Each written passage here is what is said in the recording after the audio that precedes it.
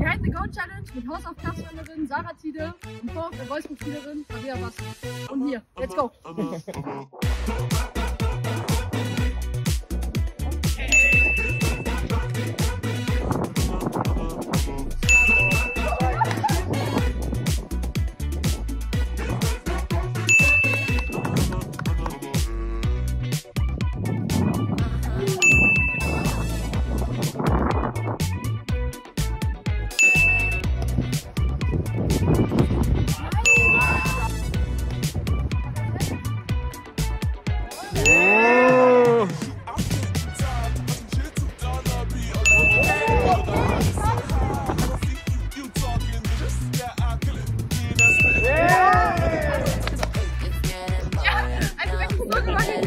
Die heiße Go-Challenge, die eine kann es nicht, die andere macht sicher. Äh, unentschieden für alle. Ich glaube,